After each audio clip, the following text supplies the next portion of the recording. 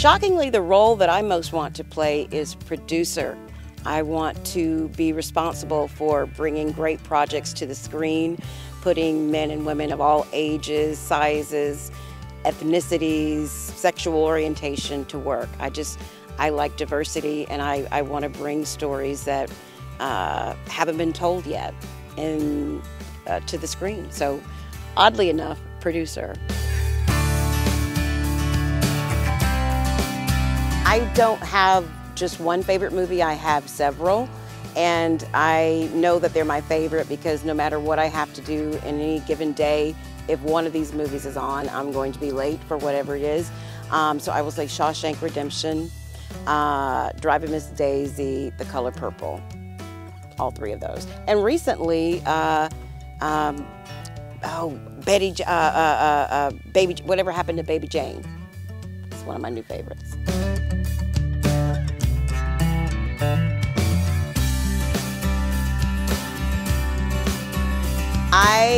Have so, sort of been approached to do Broadway, but people probably don't know this. I have severe, severe stage fright.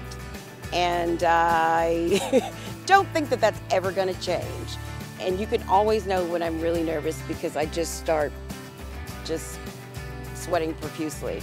But, you know, I also think the things that scare you are the things that you should definitely do and try.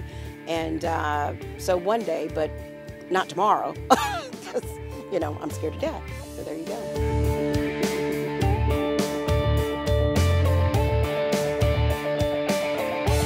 I would recommend for anyone planning to break into the business the same thing that my mother always uh, taught me or told me, and that is to get trained. You have to be trained at any job you take on, whether it's learning how to make fries at a, a fast food restaurant or, you know, becoming a doctor.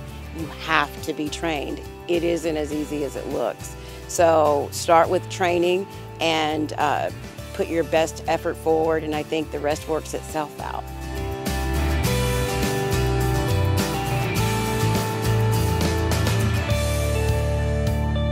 My upbringing in Alabama made me the person that I am today. I am uh, a little nutty, pretty smart, eager to learn, and uh, family oriented. And uh, my mother was a big, uh, staunch believer in, in education. So I think your upbringing informs your work. And uh, I, I, it definitely helped me, and it definitely made me embrace who I am. So, you know, I'm a Southern girl and I'm appreciative of the fact that I get to be a Southern girl as a nurse, a Southern girl as a maid and the help, uh, just different versions of, of, of, what I know. And uh, so embrace your roots. It makes you who you are.